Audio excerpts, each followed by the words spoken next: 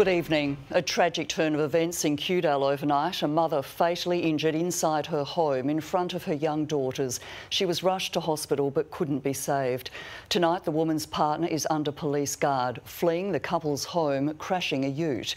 We warn some details in Mia Edgerton Warburton's report are upsetting. Family frantically flagged down police, desperately trying to save a mother of two. These are Emmerich Lassakar's terrifying final moments. The 35 year old brutally beaten and stabbed inside her Kewdale home in front of her two young daughters. Screaming, screaming, screaming, you know. Uh, and, and then the kids came out, you know, with her, and they were saying, There's a knife, there's a knife. The blood curdling screams rang out on Knutsford Avenue last night. It was her mother because she then was screaming, Mama, Mama, Mama, and Mama, no, no, no, no, take me, kill me awful, awful scream. That was the worst. Emmerich Lassakar rushed to hospital, but she couldn't be saved. She was crying out there, and yeah, she was keep calling her mum, and then she was saying sorry and then saying why. Police investigating whether the brutality was carried out by her partner, business owner Stephen Dean, the 37 year old speeding from the home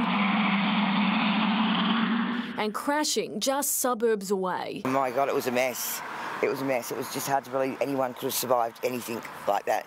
Police were called to the family home just before 8 last night, finding the mother of two with critical injuries, her partner gone. Stephen Dean fleeing to East Victoria Park, where police believe he held up a service station and then drove at speed to St James, crashing his Ford Ranger Raptor into a tree and rolling to the opposite side of the road, walking from the wreck.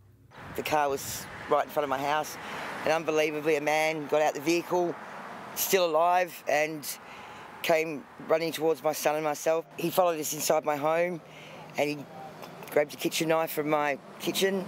He started rambling incoherently. He started talking about like, oh, I smashed someone up and going to jail and blah, blah, blah. Police swooping on a nearby backyard. That's when the cops got him on the ground and tasered him. Police officers ran down the side. There was some pops, some shouting, and um, a short amount of time later, they wheel him out on the stretcher. Family and friends of Stephen Dean didn't want to speak on camera today, but they all told me the same thing that he isn't violent and his relationship seemed like a happy one. I suspected something was seriously off, yeah.